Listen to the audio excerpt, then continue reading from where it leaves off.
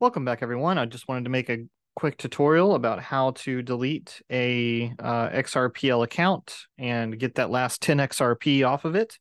Uh, for in this case, I have uh, created a few things for some videos I was doing, and so uh, I removed all the trust lines and everything. I moved over everything, but uh, your account has there's a couple different things that you need to know before you get started here. One, your account needs to be you know, I believe more than 20 minutes old uh, in order to uh, use this function, and as well as a few other things. Um, but here's the X app. I just wanted to show everyone who's trying to maybe close out an account, uh, who made an extra one, and wants that last 10 XRP off of their uh, account. So you just want to go into uh, merge here, which is the app, uh, account merge, and then click tap on it. You can see here it says merge, deletes uh, an old Ledger XRP account and moves funds to one of the other accounts to retrieve uh, the XRP reserve. Uh, this XApp will help you to merge two on Ledger accounts on the XRP Ledger. Uh, to continue, you need the account you want to delete uh, that has no obligations or other Ledger objects uh, and a destination account. So in order to, you can't, this is not just a pure delete. This is a delete and move the funds that are on here to another uh, XRPL account, which we're going to do.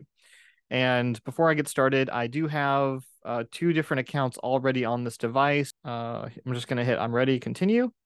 So we're going to select the first account and it's going to bring up our choices. And so uh, this is the account uh, that I created for the video that I want to get rid of uh, even though you're not able to see the address. Uh, so I'm hitting get rid of it and hit signed. And then we need the second account, the account we want it to go to, which will also be, which is where we're going to go to. So I'm going to hit the drop down. It's going to ask me which one I want to use. And I'm going to choose this one. And then I'm going to hit slide to accept. So I've chosen both the the account I'm choosing from and the account of where I want it to go to. And then I have to sign the account deletion. Uh, it takes 2 XRP to do this, as you can see here. You can see the two different accounts.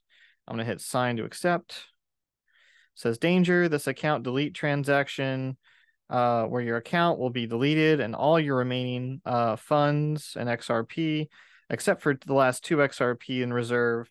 Uh, the fee uh, is on the XRP ledger for deleting an account uh, is two XRP. You will be sent uh, the rest of it to a configured destination.